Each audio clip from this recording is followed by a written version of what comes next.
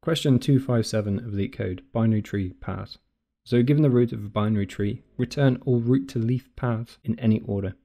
A leaf is a node with no children. So in our first example, we have an output of 12513, and that is exactly the two root to leaf paths we have here. So we have 1, 2, and 5. 5 is a leaf node because it has no children, so its children are going to be pointing to null. And then 1 and 3 is also a path. Again, 3's left child and right child are going to be pointing to null. What we're going to be using for this is a DFS recursive backtracking solution. And what do I mean by that? We want to find all root to leaf paths. So we can start off here at the root. We can check the left side, go all the way down to the bottom. We can add this into some result array. And then we pop off, we backtrack from this. So we go back up to the previous level and we check to see if it has another child that we can traverse down and find another path, in which case it does. And then we add that into results as well. And then what do we do after that? Well, we backtrack again and we backtrack and recurse throughout this entire solution until we find every possible path from root to leaf. Okay, so before we dive into this explanation, we really need to understand what we need to pass down at each level. Because remember, this is going to be recursion, so we're going to be going down each level, and at each level, it's going to have a block scope. So this scope is not going to be able to see this scope, so we have to know what to pass down to this scope in order for us to computate the results that we need. And in this example, what we need to pass down is the current root, right? So at the first level, current root is 1. At this level, the current path is 1, 2, 1, 2, and 4, etc., etc. So that's what we need to pass down. And we also need to pass in the root, so this value, because we're going to be updating that every time. So say we want to go down root left, we need to pass in root left, so it knows that that is the new root. If we're going down the right side, we need to pass in root right, so that it can update that as the new root at this point. Let's run through this. So at the first level, we have the current path, which is 1. We have the root, which is 1. We're going to go down the left side.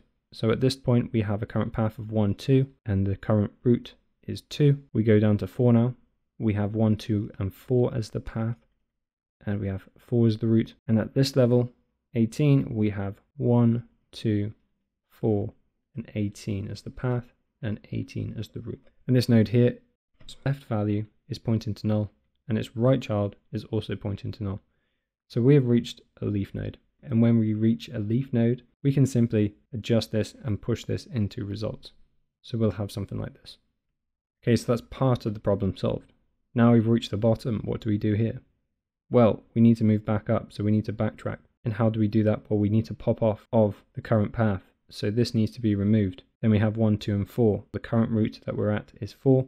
We need to check its right child to see if there is any other possible path. There is and then we go down this path and find the root to leaf path. So at this point, we have 1, 2, 4, and 19. Current root is 19. So we can pop this in to the result. Now we can repeat the process. So we backtrack, we go to this level, we check.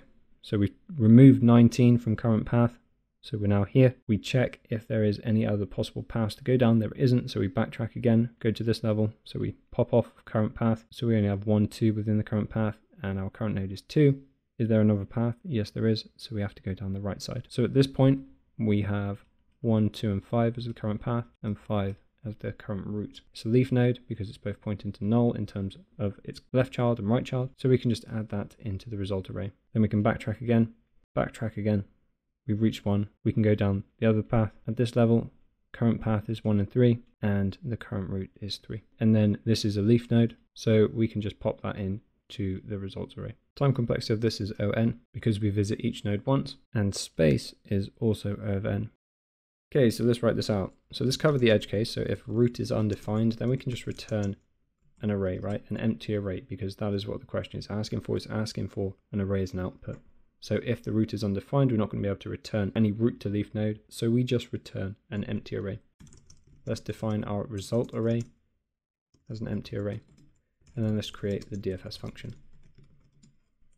So when we call DFS, we're going to pass in the root because at each level we want to know what the current root is. We're going to pass in an array for the current path that we're on.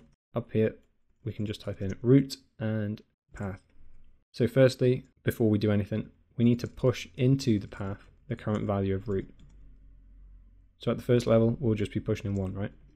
And then we need to check if root.left is undefined and root.right is undefined. This means that we're at a leaf node. So then we need to push into res and we need to push in the path, but we need to update the path to equal this. So we need to join the path to convert it from an array to a string and we need to join it by the arrow and that will give us the desired outcome. Now we need to check root.left if that's available then we recurse down that side and we also need to check if root.right is available and recurse down that side.